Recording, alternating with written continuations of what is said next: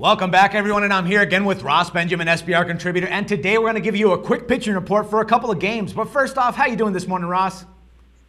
It's always better when I talk to you, Dex. Same here, same here, my man. All right, let's get right to it here. Um, looking at the pitchers for the Atlanta Braves and the Pittsburgh Pirates, I know that we've spoken in the past about Ervin Santana, but can you bring us up to speed on his most recent performances, Ross? He's been a very profitable four and one against the money in his last five starts and displayed good form in the process in those five starts. He's had a stellar 2.38 ERA and a almost four to one strikeout to walk ratio. He's been a bit unfortunate on the road this season, though, Dax. He's gone four and seven against the money on the road, losing four units against the money line, despite compiling a respectable 3.88 ERA in those outings. All right, now, Ross, on the other side of it, um, it kind of looks to me like the Pirates' Vance Worley is starting to look rejuvenated again since being called up from the minors, don't you think? I would say that's right on target. He's gone four and one against the money in his last five starts and posted a brilliant 1.62 ERA.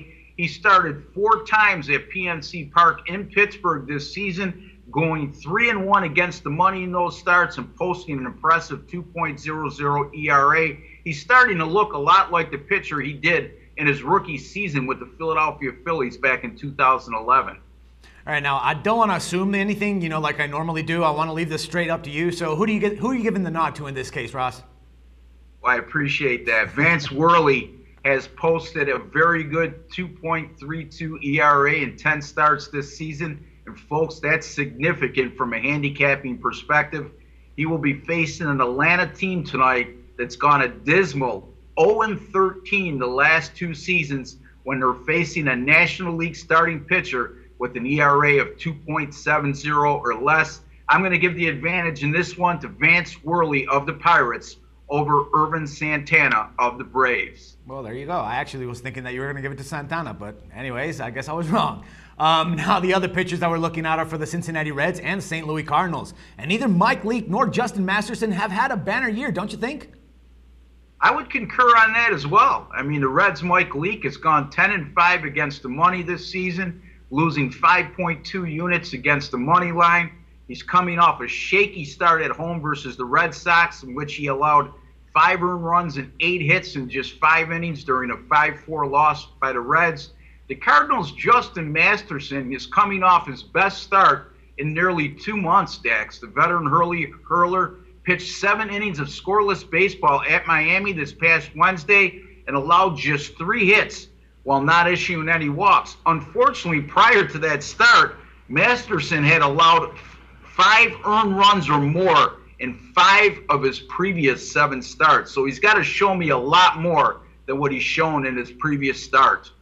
Well, it definitely looks like he is starting to gain up some momentum. But, anyways, in your article, you did point out that you're leaning towards a total play here. Now, obviously, it seems that you don't believe in either pitcher, especially since you're not giving the edge here. But can you share your thought process on this? Well, I mean, Mike Leake has seen both of his starts versus the Cardinals this season go under the total. And a lot has to do with his pitching line. He's posted an excellent 0.86 ERA in those two outings versus St. Louis in 2014. Justin Masterson has gone a perfect 3 0 against the money versus the Reds since 2011. All of those coming as a member of the Cleveland Indians. And he had a microscopic 0.78 ERA and a better than 4 to 1 strikeout to walk ratio in those three outings. I'm looking for this game, Dax, to be a surprisingly low scoring affair and uh, people may scratch their head at that after I just went through these pitchers' numbers for the years, but I'm going to be leaning toward going under the total in this game.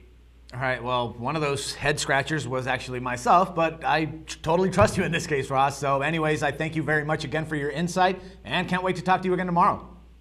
Always a pleasure, Dax. Thank you, same here. And for SportsbookReview.com, this is Dax Floyd.